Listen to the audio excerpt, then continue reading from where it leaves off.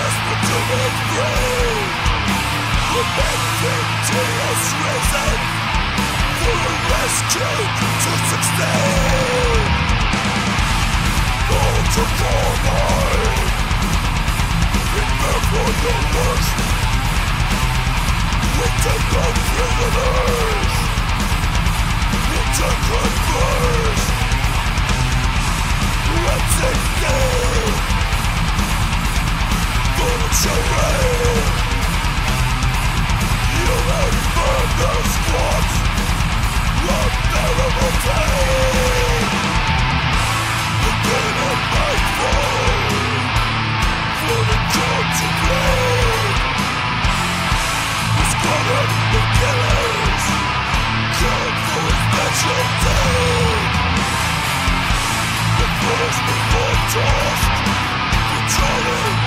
admit something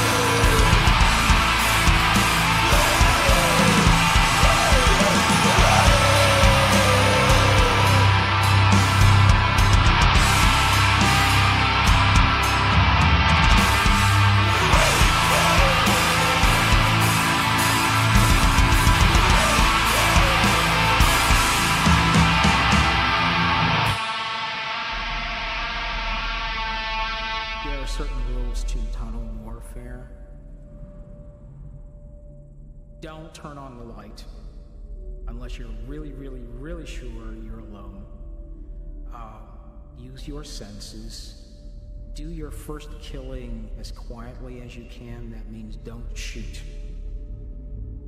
I chased somebody into a tunnel, met them at a bend in the corner in the dark. I thought I was alone, and then I smelled their breath.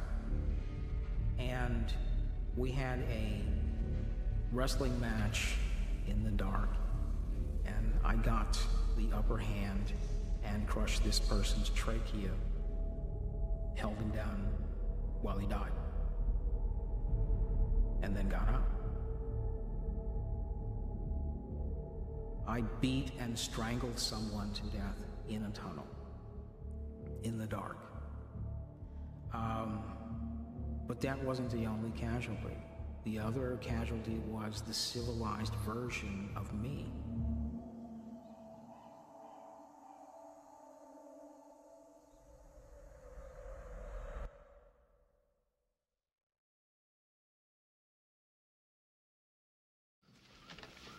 Fuck do I gotta be on point?